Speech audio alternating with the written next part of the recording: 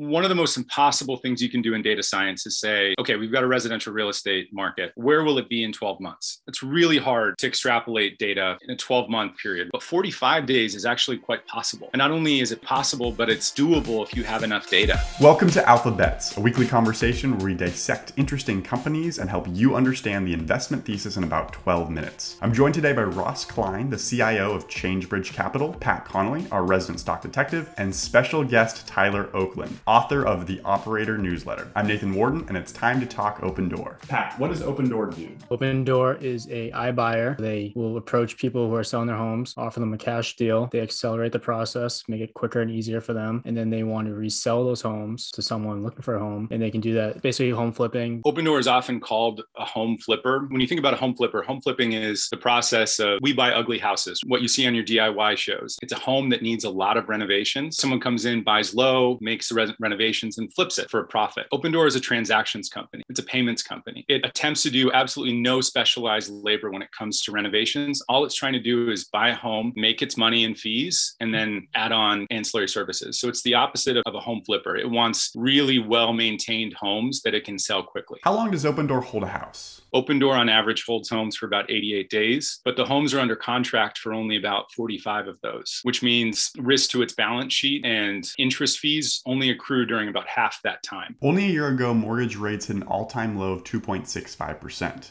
But just last week, the 30 year mortgage rate rose to 3.45%, the highest it's been since March 2020.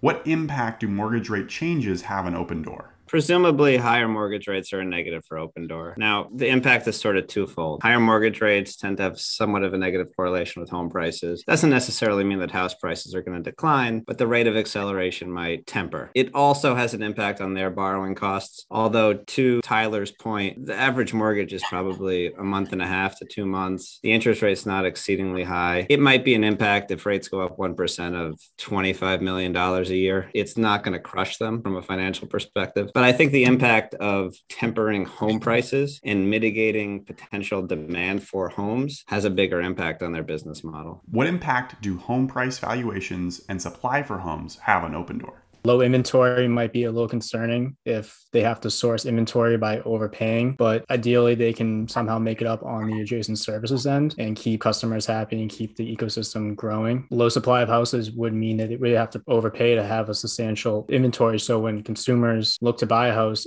Opendoor has houses available.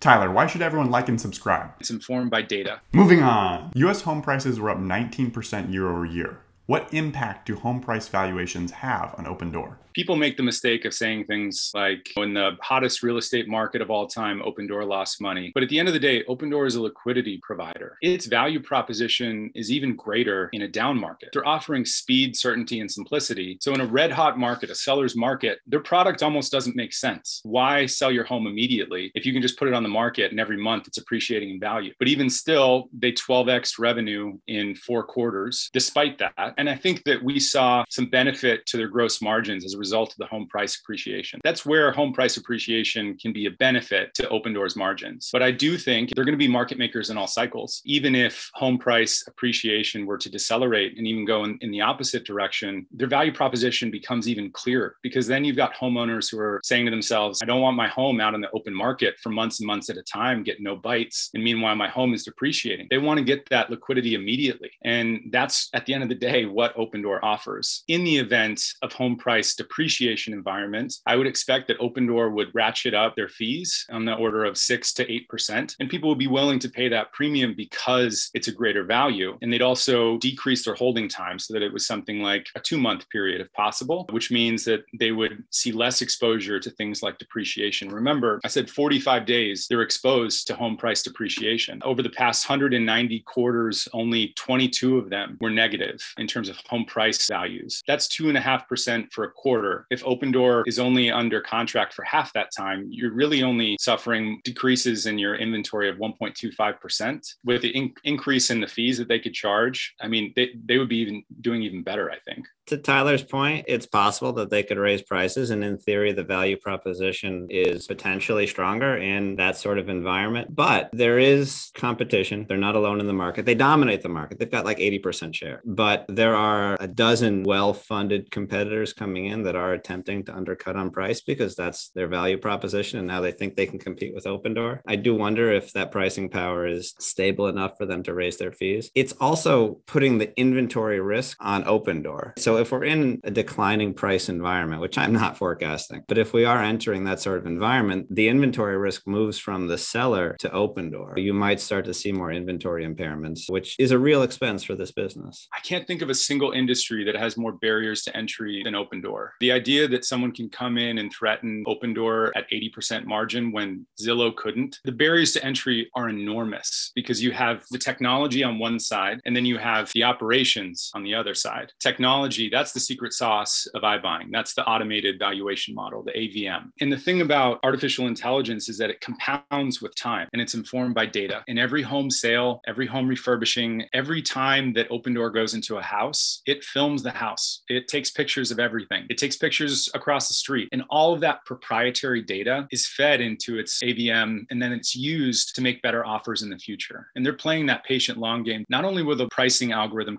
continue to get better, but as they scale into new markets, the diversification actually improves their risk profile, number one. But two, it improves their scale and access to capital, contractors, their marketplace for having people refurbish homes and clean homes and resell them, more eyeballs and traffic to their website. All those things compound in a dramatic way. So I think having a 90% market share is the makings of a monopoly. It's just going to get stronger and stronger. They've been at this since 2014. The idea that someone can come in and build a neural network for 44 different markets that each behave differently using the thousands and thousands of homes that Opendoor has already purchased, I just I don't buy that. If Opendoor's automated valuation model is really that special, wouldn't their margins be higher than 9.8%? What evidence do you have that Opendoor's algorithm is a moat? Remember that these are not home flippers. Their fee is 5%. If their algorithm is working, they're as close to 5% as possible. Their, their margin is never going to be better than 15% at maturity. And that's with a boatload of ancillary services added on. The best way to look at the success of their technology and their operations is to look at unit economics. And if you compare unit economics of Opendoor versus Zillow versus OfferPad versus Dear God Redfin, it's not even close. OfferPad is the closest one in terms of gross margin. And they actually in Q3 posted slightly higher gross margins than Opendoor, but they made less per home than Opendoor did, which is a reflection of higher cost inventory, but also just operational execution and scale. I think if there's any question about whether or not it's moat, look to the unit economics. And not only does Opendoor have superior unit economics per home, but also they're growing so much faster than everyone else. 12x in one year versus OfferPad's 190%. That they can do that and still be the most profitable is a pretty compelling argument that they have a moat in regards to their technology and operations. This description of the company as a payments company versus this description of the company as a home flipper. If it were a home flipper, prices would matter. Is the argument to be made that the price of the house is irrelevant? They're only holding it for 45 days. We shouldn't care about that. And we should just think about that 5%. Or do home prices have an impact? That's a great question. So I think the AVM goes much further than just what the price is worth and what can we sell it for. It also has to involve a level of forecasting. One of the most impossible things you can do in data science is say, okay, we've got a residential real estate market. Where will it be in 12 months? It's really hard to extrapolate data in a 12 month period, but 45 days is actually quite possible. And not only is it possible, but it's doable if you have enough data. That's where the AVM really comes in handy because it says, oh, shoot, Vegas, it's looking like HPA is slowing down. So we can't just keep our foot on the pedal and keep buying homes at higher and higher valuations. We need to back off there. But in Phoenix, it's continuing to be healthy. So we can we can put more leverage into that market. And that's what's great, right? It's a portfolio of markets that they're able to manage. And as a result, be much more profitable than their peers. And we saw this in Q3 with Zillow. In Q3, home price appreciation started to diminish and actually decrease in a lot of different markets. But Zillow kept their foot on the gas because they just instituted neural networks. Their AVM suffers from being four years late to the party relative to Opendoor. And then there were also some management issues as well. Zillow continued to pay $65,000 more per home than the home was worth. And they were stuck holding the bag on all this inventory. Meanwhile, Opendoor kept paying lower and lower and lower fees, which really mirrored the exact trend of real estate. And that's where the AVM really comes in handy. It's not just about spot price snapshot, it's also telling the future.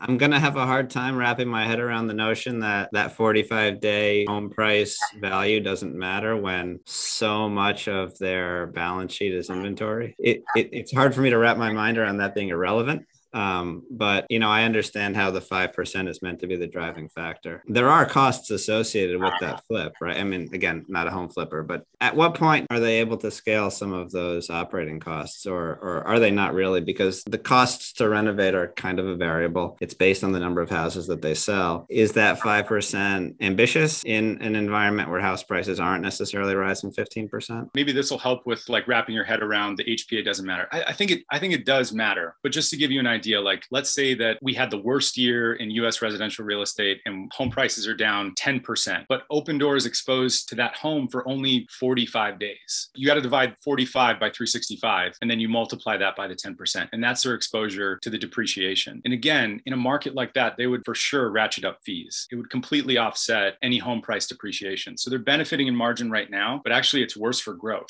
to have a seller's market. Does that make sense? It does, but that math implies that they only sell one house a year instead of four. No, you know, no, no, that specific asset. Every asset will have that because the turnover will be increased. They're making all their money in the fee, which will be higher as a result of it being a down market. If they can raise fees, sure. Historically, yeah. the fees have come in, right? Is there a precedent for them to re-ratchet them up? It used to be very flexible. Some people, if, if they looked at the home and the pricing algorithm said we can sell this quickly and we don't have to do any repairs, the fee would be lower. But they price risk. That's their core competency is pricing risk. And so if they felt like a home was going to be harder to sell or was a market that they didn't understand as much, they would raise the fee. Only in this past year has the fee been 5%. I think if there was a large competitor that offered essentially the same service, a la Zillow, there could be competitive pressure on increasing price, even in a home depreciating environment. But with them out of the race, they can do whatever they want. Do you consider legacy realtors to be competitive? The real competitor is the traditional real estate transaction. And I don't mean that every realtor is a competitor to Opendoor. I mean, that's, sure. I, I, think, I think that argument is is crazy, but